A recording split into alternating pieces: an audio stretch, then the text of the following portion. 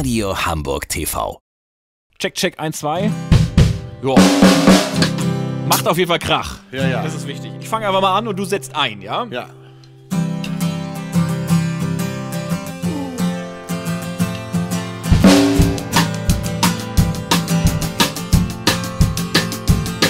Als die schwangere Ute in die Wohnung unter Atze zieht, denkt er, diese Frau kommt von einem anderen Stern, weil sie so komisch aussieht.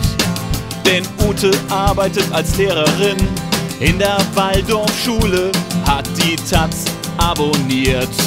Doch da kommt noch was dazu, und zwar, dass einmal im Monat die Schrot und Korn im Briefkasten steckt. Zwei Weltanschauungen, bei denen sich so überhaupt nichts. Sie werden Freunde, ist was er schrieb, hat sich Atze am Ende in Ute verliebt. Lesen Sie es selbst in Atzes erstem Buch und dann kam Ute, heißt es. Doch der Werbung jetzt genug. Yay! Wahnsinn.